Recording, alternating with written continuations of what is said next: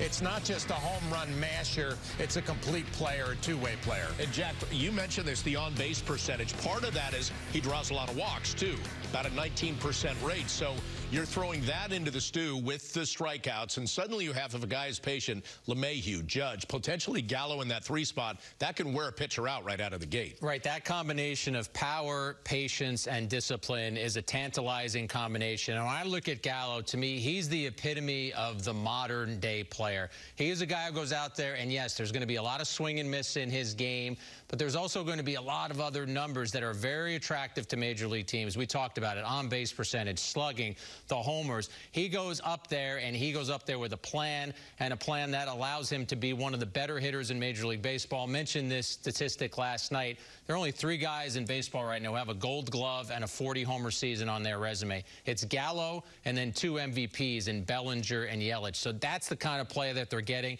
And I think you're absolutely right, Bob put him in left field and have him sandwiched right between Judge and Stanton in that three hole. I think that's the perfect spot for him. Yeah, there are a few things that I think about the old catcher in me and the lineup that he is now going to be a part of and probably hitting in between Judge and Stanton. And as a catcher and a pitcher, how do you navigate that? I mean, you can't pitch around anybody in that Yankee lineup. So I think that the walks that he had in Texas are probably going to translate into a lot more pitches to see to drive because he's going to have some protection in the lineup. I also think about Judge hitting in front of him and the protection of Gallo hitting behind him. But the one thing about any player that comes to the New York Yankees, if he can get off to a good start, right, and hit some home runs, hit some ball hards, and, and be a contributor, then you don't have that pressure of the Yankee fans and the expectations, and you start to overswing a little bit. So him getting off to a good start is imperative. By the way, there was kind of a predictive model about the balls that he's hit in Texas. About four that went to the warning track there would have been home runs in Yankee Stadium stadium, so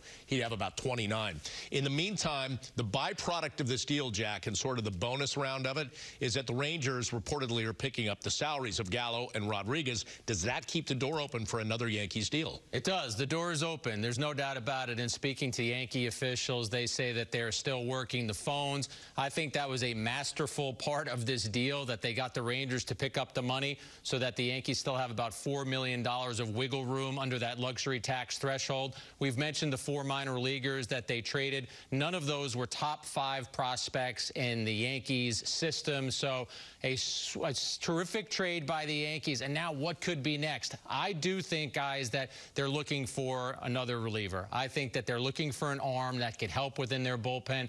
They have a lot of strong relievers out there, but the bullpen has been fatigued and had struggled recently, heading into last night, a 6 ERA over the last 20 games.